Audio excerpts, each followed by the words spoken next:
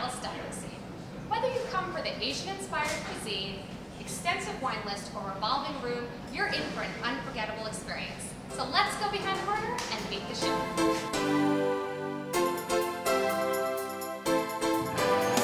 I'm here with executive chef Sara Johannes. Sara, what are we making? Today we're going to do a Mongolian grilled lamb chop that we serve with our warm Hunan glaze eggplant salad. It's one of our most popular things on the menu and it's actually pretty easy to make at home, especially with barbecue season coming into town. So when you buy lamb, you want to go to your butcher and you want to ask for a rack of spring lamb or young lamb, not mutton. There's a big difference in flavor there. Okay. And you want to ask for the rack to be French and that means that they're going to take off all of the tissue that's in between the bones for you. So it's a little bit cleaner and it presents a little more nicely. You got to take off what they call the cap. It's a big slab of fat up here. So make sure you have a good sharp kitchen knife take this whole thing out because all it is is really just fat that's going to make the lamb not taste so great. I personally like to roast whole racks of lamb because it, it keeps it a little bit more moist, a little bit more juicy, clean up the bones a little bit. If you want to really take your knife and get in here and scrape them all off, you can. And if you want to get a little bit of that off um, just so it doesn't burn and it presents a little bit more nicely. What I like to do is take tin foil and wrap each of the bones because this way they're not going to burn when you put them on the grill.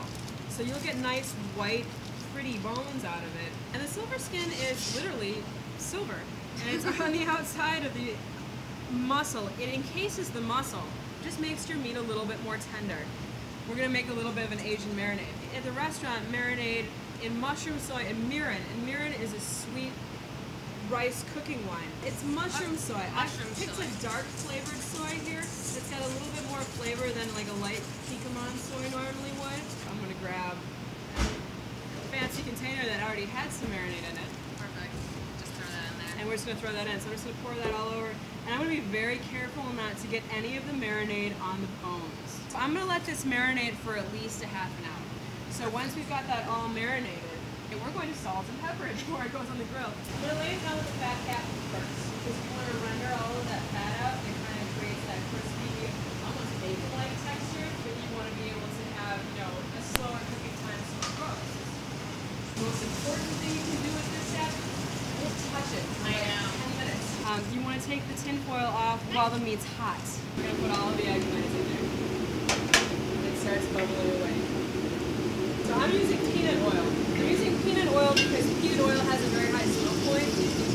I've got some garlic here. This is just raw garlic that I've sliced really thinly. You can use a knife, you can use a mandolin. You want to have that kind of roasty flavor for it. And then I've got some shaoxing. Shaoxing is a Chinese cooking wine. It's also pretty potent, so you want to make sure that you're not adding it on the flame because it will start on fire. It'll flame up. Yeah. I'm gonna add rice vinegar, sambal. It's Chinese brown chili paste. It makes everything delicious. This is nice and roasty now though. We want that kind of golden color to it, right? Perfect. And I'm gonna set it off to the side until we're ready for it. So we're making basically a, sweet sour sauce here. Because we've got a lot of vinegar in there, we want to have enough sugar to offset it. A little bit of salt to it.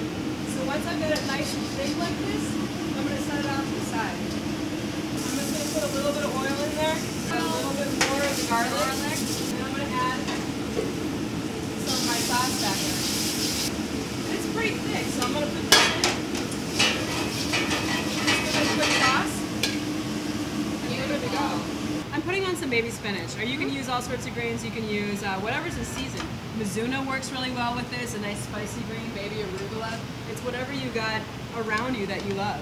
I'm gonna put the warm eggplant right on top of the greens, and I'm gonna not be scared to put some of that sauce on there too, because that's gonna end up kind of being our vinaigrette. You want all that like garlic, you want all that chili, you want all that good stuff.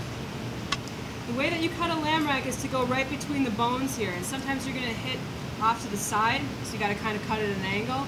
I'm gonna give people a double chop, so I'm gonna cut straight down. You just melt some butter with a couple of cloves of whole garlic in there. You can put this in your fridge and keep it there forever. And every time you grill something on, on the grill, cut a steak open, hit it with a little bit of this garlic butter, you'll blow people's minds the finishing touch, the Stuart Weitzman shoes, right? The fleur de sel on top.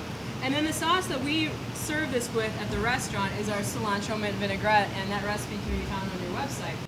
And then the cilantro mint with the lamb is so great.